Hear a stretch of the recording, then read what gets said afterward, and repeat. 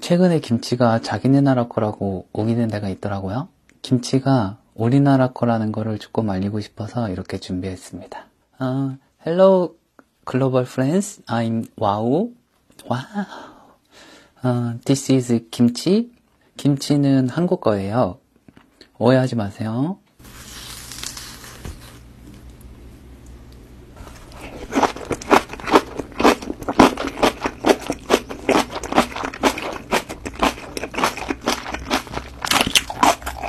김치는 한국 거예요. This is spam. This is 김치. 김치 한국 거예요. 아, 여러분 할 말 있어요. 김치 한국 거예요.